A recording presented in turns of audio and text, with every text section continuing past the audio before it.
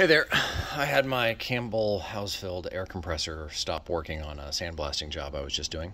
When I first plugged it in, it compressed it um, pressurized just fine, and then it went off when it got up to the right pressure. And then when I let some air out, it turned back on, but it was kind of a slow growl in the beginning.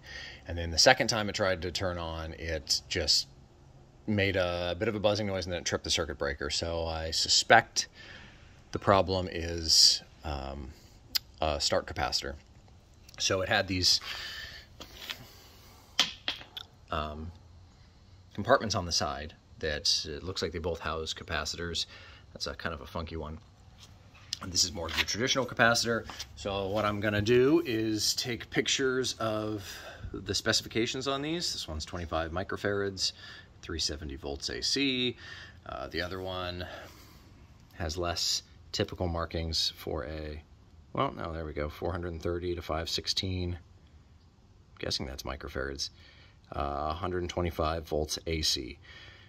And both of them have part numbers on them, but these things are pretty generic. Uh, capacitor's a capacitor, so I'm going to look them up online, either buy them Amazon or Grainger, replace them both, and see if that fixes my problem. All right, my new capacitors showed up. And with a little bit of research, this capacitor right here is my run capacitor, or I'm sorry, my start capacitor, which is the one that I think was causing me problems because the circuit breaker would blow on startup. So pretty clearly that's going to be a start compressor and not a run compressor issue. So when removing a, a capacitor, take a hold of it, it's make sure the device is unplugged, short this out, across itself just to make sure there's no charge left in it. These things can be dangerous. And then just remove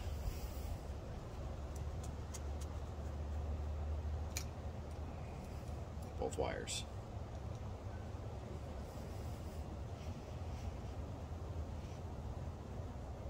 One thing you'll notice for my start capacitor is that the new one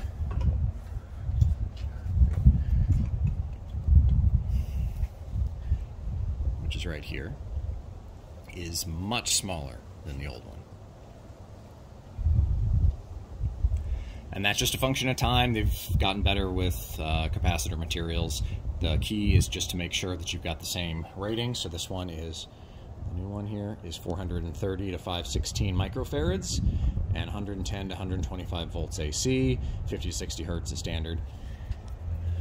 And the old one has different writing on it, so it's kind of hard to see.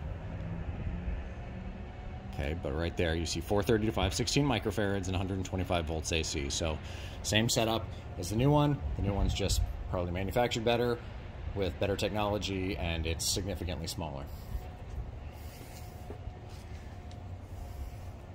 And hook it up, you just do the reverse of what you did to unhook it.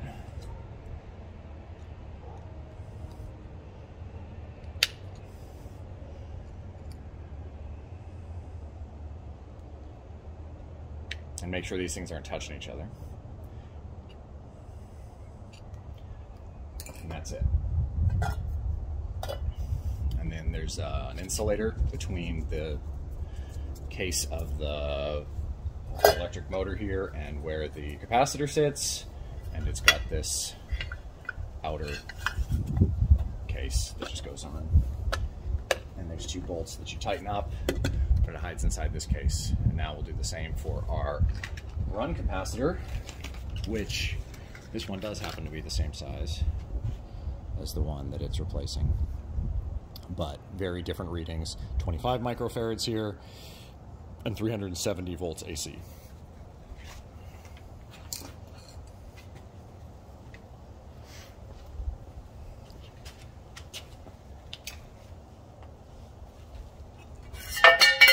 Same procedure on this side. Short them out.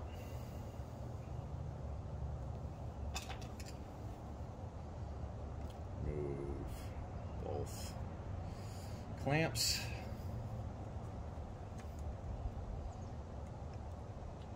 This one's not wanting to come off.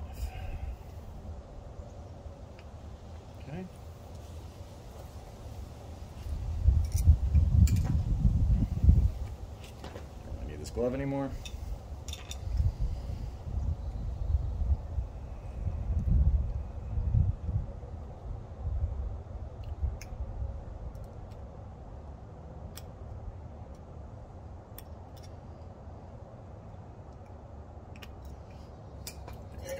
put it back on the same way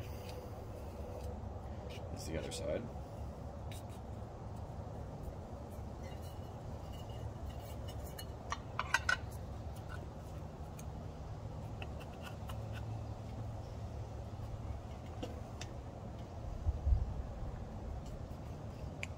Tighten both of these up and start the compressor and see if our fix worked. All right, now for the moment of truth. Let's plug it in and see if this works.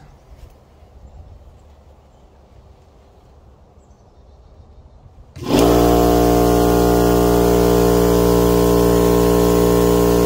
right, that's what it's supposed to do. That's what it was doing before. So let me unplug it for a second. Awesome. Well, that's how to replace the start and run capacitors on a uh, on your run-of-the-mill air compressor. And if you want to see what I was using this for when it failed, um, click on the link to my other video for restoring a pit barbecue. Thanks a lot. Good luck.